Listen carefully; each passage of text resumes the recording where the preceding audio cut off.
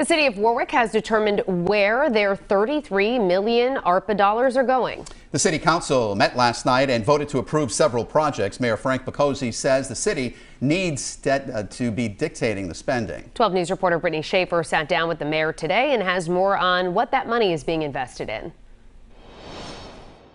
Mayor Frank Picozzi says the federal dollars are going to places where residents voice their concerns, like fixing public roads, upgrading public safety, and adding more garbage trucks.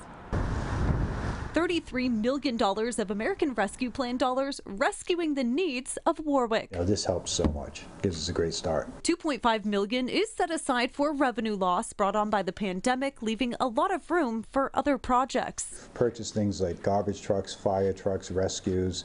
Uh, we're spending on infrastructure, water and sewer. We're doing more paving in Warwick than it's ever been done before. We have four companies doing it right now. Picozzi calling the money a huge blessing for an old city. $7 million is is going towards the Bayside Sewer project that hasn't been touched for 25 years.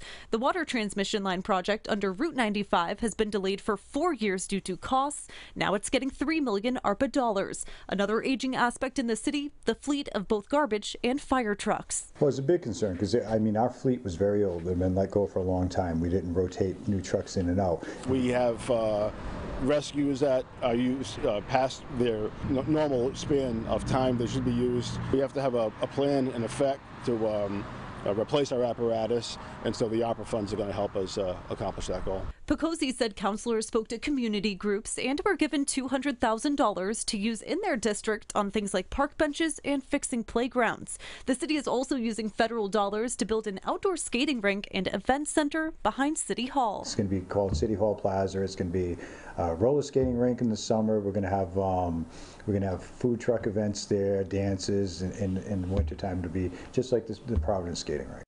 And Picozzi tells me the new fire trucks and emergency response vehicles will arrive at some point next year due to the supply shortage. In Warwick, I'm Brittany Schaefer, 12 News.